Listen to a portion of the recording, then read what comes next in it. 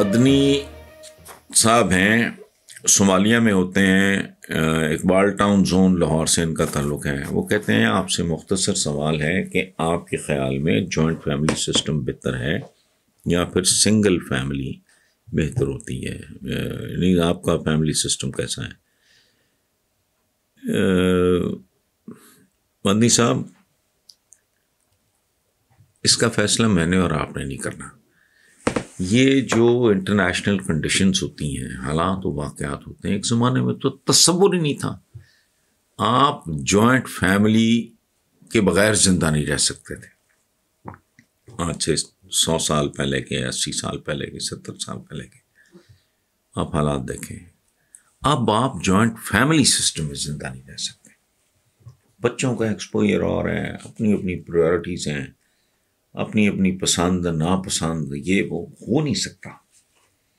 Waste में भी आपको अंदाज़ा नहीं है, एक ज़माने में जॉइंट फैमिली सिस्टम ही होता था।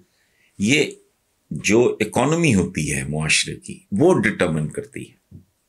आपने मुझसे पूछा तो हम बहन भाइयों के दरमियान बहुत प्यार मोहब्बत है, लेकिन जॉइंट फैमिली सिस्टम मुमकिन नहीं है।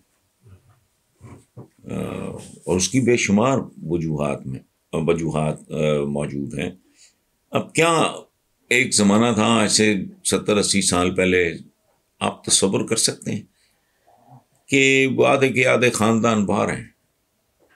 हम छः बहन भाई हैं, दो भाई हैं, चार बहनें तीन बहनें मुल्क से बाहर हैं, दो इंग्लैंड में, एक अमेरिका में।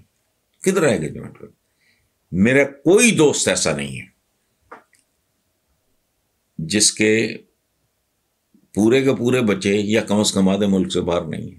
तो किधर गया जॉइंट इकोनॉमिक कंडीशंस दुनिया की जैसे जैसे बदलती जाती हैं वैसे वैसे ये कल्चर ये कोई ऐसी बात नहीं है। एक ज़माने में ज़्यादा से ज़्यादा औलाद का रिवाज था चूँकि मसल चाहिए था। जिस बंदे के जितने बेटे होते थे, वो उतना ही बड़ा फन खान होता था, उतना ही ज़्यादा वो ताकतवर इन्फ्लुएंशियल होता था अपनी।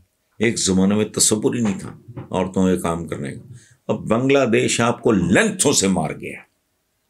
हर मामले में, हर शोबे में, बांग्लादेश ने हमारे सबक मशरकी पाकिस्तान ने इस पाकिस्तान को हर शोबे में शिकस्त दे दी। क्यों?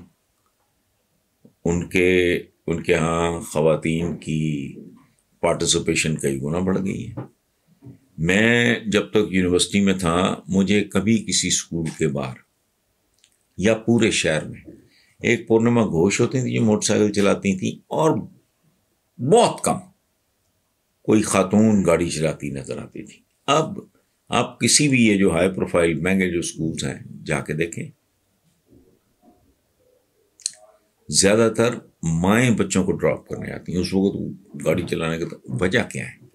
ड्राइवर आप अफोर्ड नहीं कर सकते और उसकी वजह सिर्फ़ ड्राइवर की तनख्वाह नहीं है। आपने उसको अकोमोडेशन भी देनी है। आपने उसके खाने का, ईद शबरात का, उसके घर में कोई शादी आया सारा it's a big package driver को आप कहने को अगर बीस हज़ार रुपया महीने का दे रहा है तो वो आपको चालीस हज़ार में कॉस्ट करता है। हुआ क्या है? सुबह उठता है बंदा पागलों की तरह तैयार होके।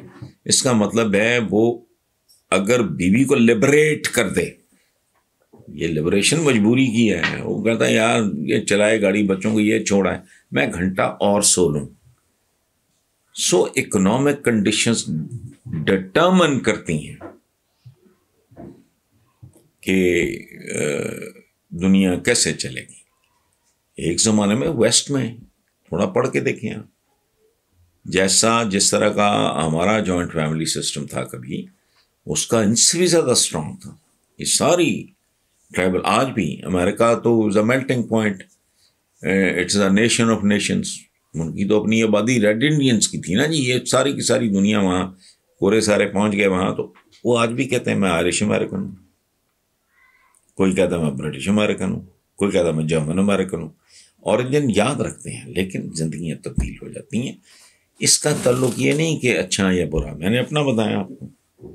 हम बहुत करीब का हम बहन भाइयों का, तीन बहनें बाहर हैं मेरी। एक बहन, एक भाई और एक मैं। हम यहाँ होते हैं। हमारा आपस में बहुत प्यार मोहब्बत है, लेकिन अपना अपना आजकल तो घर नहीं चलते जब तक औरत पार्टिसिपेट ना करे। ये ट्रेंड बढ़ता जा रहा है और बढ़ता जाएगा। वेस्ट में। तो एक अकेला आदमी अपनी, अपना खानदान नहीं पाल सकता तो जॉइंट फैमिली सिस्टम के ज़माने लद गए। उसकी वजह है कि आपकी इकोनॉमिक कंडीशंस बनी ना इंसान की। इनकी दुनिया ही तब्दील हो चुकी है। स्कूलों में जाते हैं, वो बंद हों या खुले हों practically it doesn't make any difference जो हाई प्रोफ़ाइल स्कूल है, ज़ाहिर है, वहाँ को थोड़ा बहुत फ़र्क पड़ता है, या शायद ज़्यादा फ़र्क पड़ता हो। लेकिन ये ये पैच वर्क है। ये कोई कोई सॉलिड मैं जो कहता हूँ, पंद्रह साल एक हकूमत, तीन तीन, चार चार साल के अपने पहले चार साल का ये मनसूबा दूसरे चार चार, इस तरह करके पंद्रह।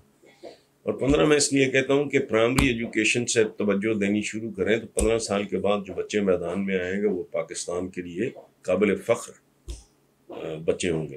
अदरवाइज़ जो चल रहा है, मैं कुछ ऐसी बातें हैं जो मैं करना नहीं चाह रहा मुझे बहुत ज़्यादा मनूस लगती हैं। लेकिन क्राइम बता रहे हैं वो कहते हैं, नविश्ता दीवार है, इसमें कोई अकल बली बात नहीं। नून लीग के सीनियर रहनुमा ख्वाजा साद रफीक ने मुल्क में महँगी शादियों के बारे में बयान देते हुए कहा कि इस मुल्क में सरमायादार अपनी शादियों में अरबों रुपए खर्च करते हैं, जबकि करोड़ों घराने दो वक्त की रोटी नहीं खा सकते। तो सवाल ये है कि ख्वाजा साहब की तनकीद बिल्कुल बजा लेकिन ये सब अपने लीडर, ये नवाज़ शरीफ से क्यों नहीं कहते बाहर तो पंद्रह सौ रियाल की नौकरी करते हैं, लेकिन नवासे की शादी अरबों उड़ा दी है नामान नौमान तनवीर साहब, ये हैं गुमटी बाज़ार लाहौर से। बात आपने अच्छी की और बात ख्वाजा साद रफीक ने भी बहुत अच्छी की। लेकिन हमने कहा अपने लीडर लीडर को बंदा एक्सपेक्ट करता है कि वो उसको सही लीड करेगा गाइड करेगा। ये अरेंजमेंट्स हैं सारे।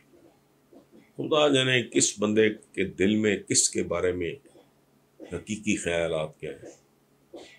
मसलन, अब पूरा लाहौर है, ये दुनिया का मोस्ट पोल्यूटेड सिटी है आलूगी से भरपूर।